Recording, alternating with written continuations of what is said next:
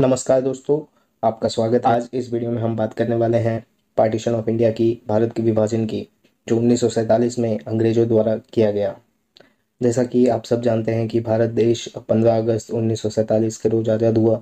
उसके पहले इंडिया और पाकिस्तान दोनों एक कंट्री थी, जिस पे ब्रिटिश हुकूमत थी। तो भारत को आज़ाद करने की सबसे पहली जो शर्त थी मुस्लिम लीग की, वो ये थी कि मुस्लिमों के लिए एक अलग देश बनाया जाए और उसका नाम रखा जाए पाकिस्तान। तो इसी वजह से इंडिया और पाकिस्तान का विभाजन हुआ।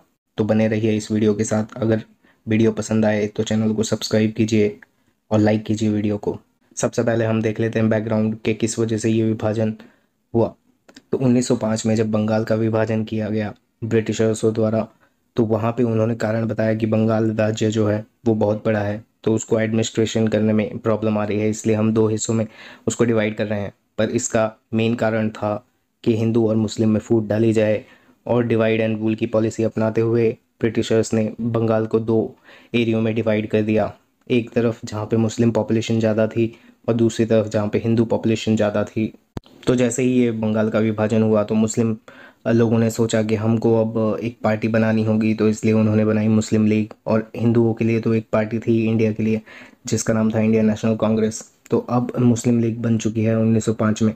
और मुस्लिम लीग का एक जो सबसे बड़ा जो प्रोपोगेंडा था, वो ये था कि मुस्लिम्स के हित के लिए एक अलग इलेक्टोरेट मतलब मुस्लिम के थ्रू मुस्लिम लोगों को वोट दिया जाए। जहाँ पे मुस्लिम पॉपुलेशन ज़्यादा है, वहाँ पे एक अलग इलेक्टोरेट होना चाहिए और वहाँ पे सिर्फ़ मुस्लिम लोग ही मुस्लिम लीडर्स को इलेक्ट कर सकते हैं, ना कि हिंदू। क्योंकि अगर जो पॉपुलेशन हिंदूज की ज़्यादा थी तो वहाँ पे कोई भी खड़ा होता तो पॉपुलेशन मेजोरिटी की वजह से वो हिंदू कैंडिडेट जीत जाता। है इसलिए मुस्लिम लीग की ये मांग थी कि हमको एक अलग इलेक्टोरेट दिया जाए।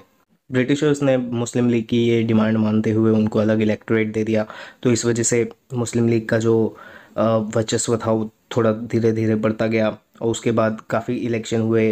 1935 के अंदर गवर्नमेंट ऑफ़ इंडिया एक्ट आया। उसके बाद प्रोविज़न तौर पे इलेक्शन होने शुरू हुए तो मुस्लिम लीग ने देखा कि इंडियन नेशनल कांग्रेस काफ़ी मेजोरिटी के साथ सारे इलेक्शन में जीत गई है। तो उनको ये लगा कि इस तरीके से अगर हम इस देश में एक साथ रहेंगे तो हम आगे नहीं बढ़ पाएँगे और मुस्लिमों की जो बात है, वो कोई नहीं सुनेगा। तो इसके लिए फिर उन्होंने एक नया प्रोपेगेंडा शुरू किया, जिस, जो था कि भारत के दो टुकड़े विभाजन कर दिए जाएँ और एक नया देश बनाया जाए मुस्लिमों के लिए, जिसका नाम होगा पाकिस्तान। इंडियन नेशनल कांग्रेस के काफ़ी जो नेता थे, वो इस विभाजन के खिलाफ थे। जैसे कि महात्मा गांधी पर यहाँ पे आखिरकार विभाजन तो होना ही था। तो उन्नीस सौ सैंतालीस में लॉर्ड माउंट बैटन साहब आते हैं इंग्लैंड से इंडिया और वो पूरा माउंट बैटन प्लान बताते हैं जिसमें पाकिस्तान कैसे बनाया जाएगा और हिंदुस्तान को कैसे विभाजित किया जाएगा। इस प्लान के अंडर जो मुस्लिम पॉपुलेटेड एरिया है, वो पाकिस्तान के साथ जाएँगे और जो हिंदू पॉपुलेटेड एरिया है, वो इंडिया में रहेंगे।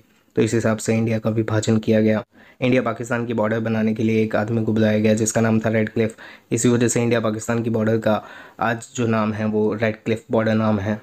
इस प्रकार से विभाजन करते हुए जो आज का पाकिस्तान है, वहाँ पे सारे राज्यों को उस पाकिस्तान में इंक्लूड किया गया और जो आज का बांग्लादेश है, उसको ईस्ट पाकिस्तान के रूप में स्वीकारा गया। और जो ये विभाजन हुआ था, उसमें सिर्फ़ लैंड का विभाजन नहीं हुआ था आर्मी का भी विभाजन हुआ था, पैसों का भी विभाजन हुआ था और जो भी चीज़ थी मतलब जो देश के पास इंडिया के पास जो चीज़ थी, उसका हर एक तरीके से विभाजन हुआ था, आधा हिस्सा। आधा तो नहीं कह सकते पॉपुलेशन के हिसाब से जो पाकिस्तान का बनता था, वो पाकिस्तान को मिला और जो इंडिया का था, वो इंडिया के पास रहा। इसलिए आपने एक डायलॉग सुना होगा, पैंसठ करोड़ रुपए दिए थे, तब जाके आपके सर पे तरपाल आई थी। तो वो इसलिए डायलॉग है कि जो विभाजन के टाइम पे इंडिया ने पाकिस्तान को पैंसठ करोड़ रुपए दिए थे, पर ये विभाजन की कहानी सिर्फ़ इतनी ही नहीं है। इस विभाजन के टाइम पे, इस पार्टीशन के टाइम पे काफ़ी मौतें हुई। तकरीबन दो लाख मौतें जो थी, वो ऑफिशियल आंकड़े के थ्रू बताई जाती है। तो इससे काफ़ी ज़्यादा हो सकती है अनऑफिशियल और कम से कम चौदह लाख लोग जो हैं, वो बेघर हो गए। मतलब जो हिंदूज थे वो पाकिस्तान से इंडिया आए और इंडिया से पाकिस्तान जो मुस्लिम्स थे वो गए। तो इस तरीके से वो बेघर हो गए। ऐसे चौदह लाख लोग थे। तो पार्टीशन की कहानी थी दोस्तों, अगर आपको पसंद आई हो तो इस वीडियो को लाइक करें। एम रखते हैं दस लाइक का और चैनल को सब्सक्राइब करें। जय हिंद।